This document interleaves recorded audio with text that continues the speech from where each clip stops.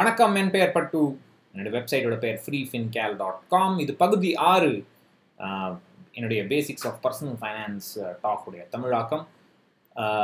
நேத்திக்கு திருப்பி retirement planning போது பற்றி பேசும்போது திடீர்னு என்னோடய குவிக் டைம் பிளேயர் கிராஷ் ஆகிடுச்சு மன்னிக்கவும். அது நேற்றுக்கே முடிச்சிருக்கணும். ரிட்டையர்மெண்ட் பிளானிங்கை பற்றி ஸோ இன்றைக்கி திருப்பி தொடரலாம். ஸோ ஏன் வந்து நம்மளுடைய வாழ்க்கை நம்மளுடைய அகராதியிலேருந்து டிஸ் பென்ஷன் ரிட்டையர்மெண்ட் அப்படிங்கிறதெல்லாம் எடுத்துடணும். பென்ஷன்லாம் ஊருக்கு உதவாது அப்படிங்கிறத பற்றி ஒரு எக்ஸாம்பிள் மூலமாக பார்க்குறோம் ஒரு முப்பது வயசு ஆளோட இன்னித்து அத்தியாவசிய செலவு பதினஞ்சாயிரம் ரூபாய் இருந்தால் அதாவது அறுபது பர்சன்ட் ஆஃப் அவருடைய டேக் ஹோம் பே இருபத்தஞ்சாயிரத்தில் இன்னைக்கு ப அத்தியாவசிய செலவு பதினஞ்சாயிரம் இருந்தால் அவருடைய செலவுகள் வயது முப்பதுலேருந்து வயது ஐம்பத்தஞ்சு எழுபது வரைக்கும் இந்த மாதிரி ஆறு பர்சன்ட் வருஷா வருஷம் ஏறுற மாதிரி நம்ம ப்ரொஜெக்ட் பண்ணியிருக்கோம். ஐம்பத்தஞ்சில் அவருக்கு ரிட்டையர்மெண்ட் ஸோ ஐம்பத்தஞ்சுக்கு அப்புறம் சம்பளம் வராது. பென்ஷன் அவர் கடைசியாக வாங்கின சம்பளமே அவருடைய முழு வாழ்நாள் முழுதும் வாங்குகிற பென்ஷனாக இருந்தால் அது ஒரு அஞ்சாறு வருஷம் தான் வரும். அதுக்கப்புறம் அவருடைய செலவுகள் பென்ஷனோட ஜாஸ்தி ஆகிடும் நான் செலவுகள்னு சொல்கிறது திருப்பி சொல்கிறேன் நான் செலவுகள்னு சொல்கிறது முப்பது வயசில் அவருக்கு இருக்கிற அத்தியாவசிய செலவுகளை ப்ரொஜெக்ட் பண்ணி நம்ம கால்குலேட் பண்ணுறோம் முப்பதுலேருந்து ஐம்பத்தஞ்சு வரைக்கும் அதிக செலவுகள் வரலாம். அதை வந்து வருஷா வருஷம் இந்த கே இந்த எக்ஸசைஸ் இந்த கால்குலேஷனை திருப்பி திருப்பி பண்ணும்பொழுது நமக்கு தெரிய வரும். ஸோ இதனால தான் பென்ஷன் வேலைக்கு ஆகாது நம்ம ஜென்ரேஷன் அதை பற்றி பேசக்கூடாது. அதுக்கு என்ன ஆல்டர்னேட்டிவ் அப்படிங்கிறதுக்கு பார்க்கணும். இப்போ நீங்கள் பார்த்தீங்கன்னா எண்பத்தஞ்சு வரைக்கும் அவர் உயிரோடு இருப்பார் அப்படின்னு நினச்சி கால்குலேட் பண்ணுறோம் ஏன் அந்த மாதிரி ஒரு தேவை? ஸோ பென்ஷன் வாங்கினீங்கன்னா வாழ்நாள் முழுவதும் பென்ஷன் அப்படின்னு சொல்லிடலாம். அது கால்குலேஷனே தேவையில்லை. பட் நீங்கள் வேறு டைப் ஆஃப் ரிட்டையர்மெண்ட் பிளானிங் பண்ணும்போது எத்தனை நாள் வரைக்கும் உயிரோட இருப்போம்? அதாவது எப்போ ரிட்டையர் ஆகிறோம் எத்தனை நாள் வரைக்கும் உயிரோட இருப்போம் அப்படிங்கிறது கணக்கு. ஸோ ஐம்பத்தஞ்சிலேருந்து எண்பத்தஞ்சு வரைக்கும். ஸோ நீங்கள் பார்த்தீங்கன்னா எண்பத்தஞ்சு வரைக்கும் போனீங்கன்னா எங்கேயோ போயிடும். மூணே முக்கால் லட்சம் ஆகிடும் அந்த பதினஞ்சாயிரம் ரூபாங்கிறது ஸோ என்ன ஆல்டர்னேட்டிவ் அப்படின்னா இப்போ நீங்கள் பார்க்குறது வந்து ஐம்பத்தஞ்சிலேருந்து எண்பத்தஞ்சு வரைக்குமான அவருடைய செலவு. அவருடைய செலவு ஏறிட்டுருக்கு ஸோ எனக்கு வந்து ஒரு லம்சம் தொகை அந்த தொகையிலிருந்து எனக்கு என்ன செலவோ அந்த வருஷம் அதை நான் எடுத்துப்பேன். அந்த மாதிரியான ஒரு திட்டம் பண்ணும். அஃப்கோர்ஸ் அந்த லம்சம் தொகைங்கிறது வந்து ஒரே இடத்துல இன்வெஸ்ட் பண்ண முடியாது. இப்போ பென்ஷன்னா என்ன பண்ணுறோம் அந்த லம்சம் தொகையை வந்து ஒரு இன்சூரன்ஸ் கம்பெனிகிட்ட கொடுத்துட்றோம். அவன் வந்து வருஷம் வருஷம் பென்ஷன் கொடுப்பான். அதுக்கு பதிலாக அந்த லம்சம் தொகையை எவ்வளவு தொகைங்கிறத அப்புறம் கால்குலேட் பண்ணலாம். பட் அந்த லம்சம் தொகையை நம்ம பல்வேறு இன்ஸ்ட்ருமெண்ட்ஸில் போடணும் சிலது சேஃப் இன்ஸ்ட்ருமெண்ட்ஸ் அந்த சேஃப் இன்ஸ்ட்ருமெண்ட்ஸ்லேருந்து மாத செலவுக்கு எடுத்துக்கலாம். சிலது கொஞ்சம் ரிஸ்க்கு அதை விட கொஞ்சம் ரிஸ்க்கு அதை விட ரிஸ்க்கு ஸோ ஈக்குட்டி வந்து ஃபுல்லாக போட முடியாது. ஒரு முப்பது ச முப்பது பர்சன்ட் கிட்ட போடலாம். இந்த கால்குலேஷன் கொஞ்சம் ரொம்ப டிஃபிகல்ட் கால்குலேஷன் ஒரு ஒரு ஏஜை பொறுத்து இன்புட்ஸ் எல்லாம் மாறும். இதுக்கு எனக்கு என்கிட்ட இதுக்கு கால்குலேட்டர்ஸ் இருக்குது பட் பேசிக்கான ஐடியா மட்டும் நான் சொல்லிடுறேன். உங்களுக்கு நான் தனியாக ஒரு கால்குலேஷன் பண்ணி காமிக்கிறேன். Basic simple retirement calculate calculation எப்படி பண்ணது அப்படிங்கிறது uh, வர வீடியோஸில் பார்க்கலாம்.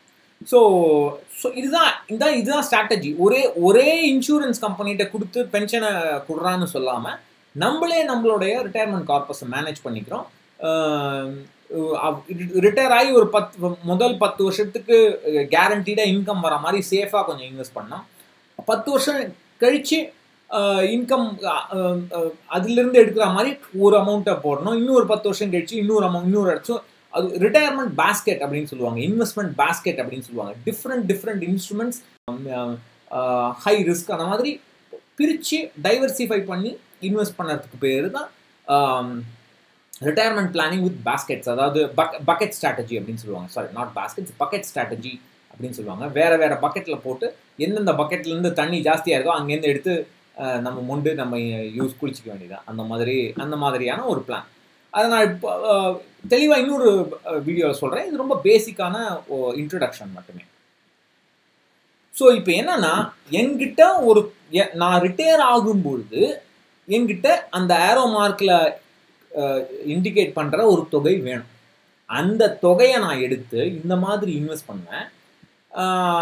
முதல்ல வந்து நான் எடுக்கிறது வந்து கம்மியாக தான் இருக்கும். ஏன்னா இந்த தொகையோட நான் எடுக்கிற அமௌண்ட் கம்மி. அது நான் இன்வெஸ்ட் பண்ணும்போது அந்த தொகை கொஞ்சம் கொஞ்சம் ஏறும். வேல்யூவில் ஏறும். ஏன்னா கொஞ்சம் கொஞ்சம் இன்ட்ரெஸ்ட் வரும். இல்லை ரிட்டர்ன் வரும். அதனால் வேல்யூ ஏறும்.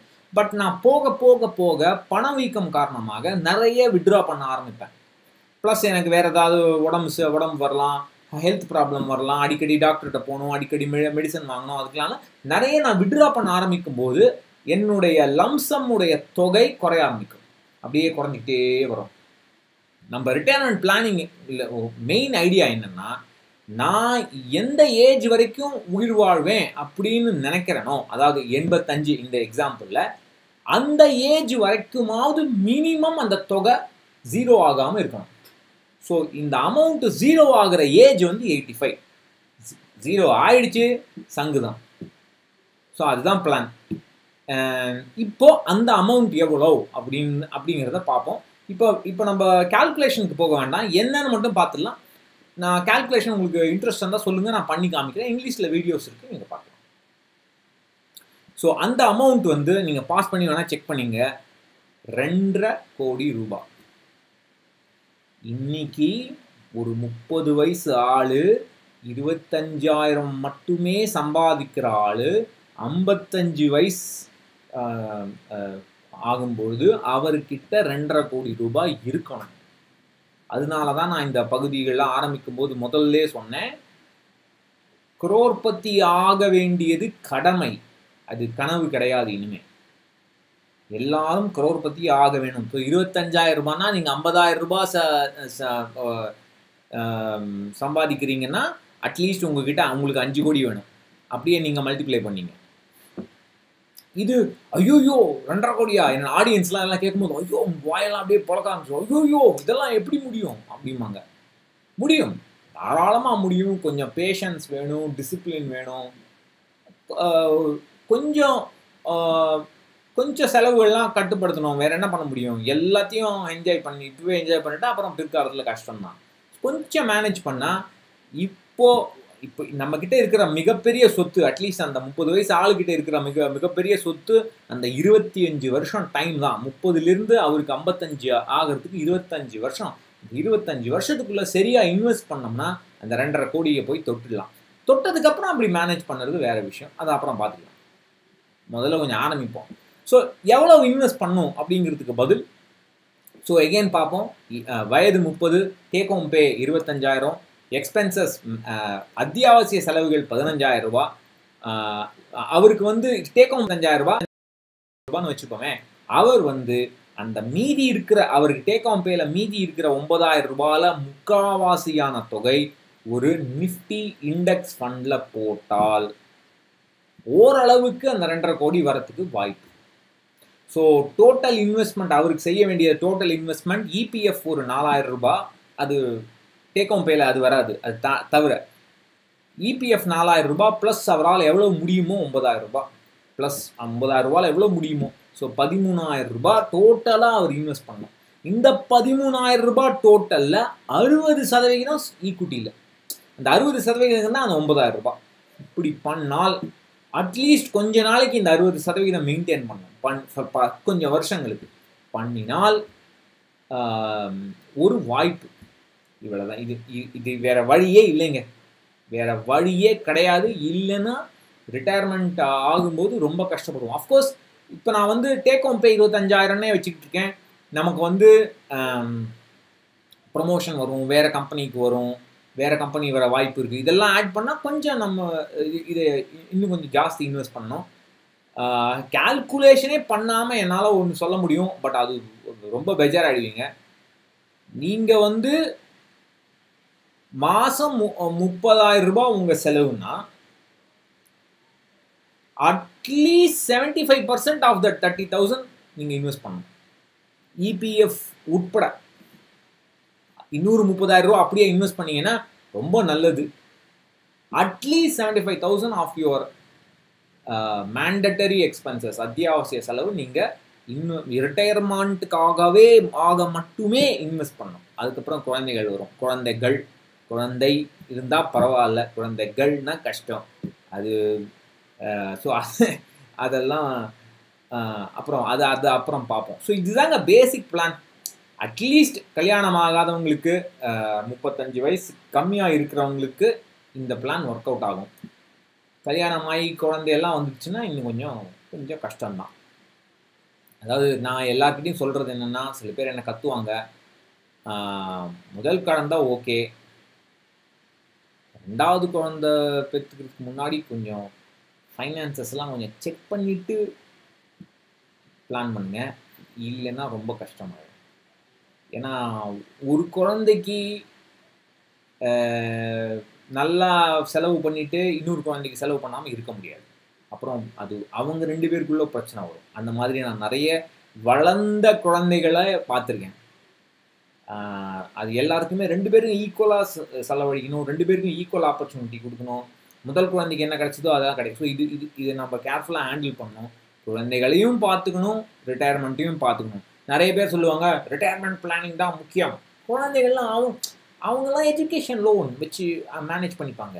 அவனோட கல்யாணத்துக்குலாம் நான் நான் இன்வெஸ்ட் பண்ண மாட்டேன். அவனாக பார்த்துக்க வேண்டியது. இந்த மாதிரி டயலாகெல்லாம் எல்லாம் ரொம்ப ஈஸியாக விடலாம். வாழ்க்கையில் நம்ம நம்ம குழந்த டுவெல்த்து முடித்து காலேஜுக்கு போகும்போது எஜுகேஷன் லோனோட வாழ்க்கையை ஆரம்பிக்கணுங்கிறது அஹ், வேற வழி இல்லைன்னா பண்ணணுமே தவிர அதுக்கு இப்போவே கொஞ்சம் பிளான் பண்ணோம்னா ஓரளவுக்காவது அதை மேனேஜ் பண்ண முடியும். அட்லீஸ்ட் எஜ் வாங்குற எஜுகேஷன் லோன் கம்மியான அமௌண்ட்டாவது வாங்க முடியும். அதுக்கு இப்போவே நம்ம பிளான் பண்ணோம். வேற வழி கிடையாது. ஸ்டாக் மார்க்கெட்டோடைய வாலட்டிலிட்டி பழகியே ஆகணும். பொறுமையாக இருக்கணும். ரிட்டர்ன்ஸ் எல்லாம் எப்போவுமேலாம் வராது. வந் அது நம்மளுடைய மான்சூன் மாதிரி தான் பெய்யவே பெய்யாது. பெஞ்சா பிச்சுக்கிட்டு அடிக்கும். பட் அந்த பிச்சுக்கிட்டு அடிக்கும்போது அதை பார்த்துட்டு இப்போ என்ன மக்கள் பிக்கெஸ்ட் தப்பு பண்ணுறாங்கன்னா ஒரு வருஷம் ஐம்பது பர்சன்ட் ரிட்டர்னை பார்த்துட்டு உள்ளே போவானுங்க. அடுத்த வருஷம் ஆப்பு அந்த மாதிரி பண்ணவே கூடாது. பொறுமையாக டிசிப்ளின்டாக பண்ணால் முடியும். நான் ஓரளவுக்கு என்னுடைய ரிட்டையர்மெண்ட் கார்பஸ் இப்போ ஏறி இருக்குன்னா என்னுடைய குழந்தைக்கு நான் உங்களுக்கு சொன்னேன் இல்லையா முதலீட்டோட நிலைமை மார்க்கெட் கிராஷ்க்கு அப்புறம் அதெல்லாம் அந்த நிலைமைக்கு வந்ததுக்கு காரணம் டிசிப்ளின் மட்டுமே. நாலேஜ் மூளை அப்படியே stock market analysis mutual fund analysis அது ஒரு மயிரும் கிடையாது. ஒரே ஒரே ஒரு குவாலிட்டி டிசிப்ளின் இருந்தால் பிளான் இருக்கணும் அந்த பிளான் அந்த பு- அந்த பிளான் மேலே நம்பிக்கை இருக்கணும் டிசிப்ளின் இருக்கணும் எக்ஸிக்யூட் பண்ண இருந்தால் முடியும். என்னுடைய நான் எனக்கு நான் வெற்றி பெற்றேன் அப்படின்னு நான் நினச்சிட்டா இல்லை மற்றவங்க நினச்சிட்டா அது காரணம் டிசிப்ளின் மட்டுமே. டிசிப்ளின் இருந்தால் முடியும். நான் முன்னாடியே சொன்னேன் இந்த மாதிரி இந்த இப்போ இல்லஸ்ட்ரேஷன் கொரோனா போது வேண்டான்னு பட் என்ன பண்ணுறது இப்போ காலத்தின் கட்டாயம். ஸோ இது இந்த பகுதியோட இந்த ப்ரெசன்டேஷன் முடிஞ்சுது. அதுக்கப்புறம் வந்து நாளைக்கு ஒரு சின்ன பிரேக் எடுத்துக்கலாம். வேறு ஏதாவது டாபிக் பற்றி பேசலாம். அதுக்கப்புறம் கொஞ்சம் கொஞ்சமாக சிஏஜிஆர்னா என்ன ரிட்டர்ன்ஸ் எப்படி கால்குலேட் பண்ணணும் அதுக்கப்புறம் ச- குழந்தைகளோட எஜுகேஷனுக்கு எப்படி பிளான் பண்ண ஆரம்பிக்கணும் இதெல்லாம் கொஞ்சம் கொஞ்சமாக கொஞ்சம் கொஞ்சமாக வீடியோஸில் பார்க்கலாம். நன்றி வணக்கம்.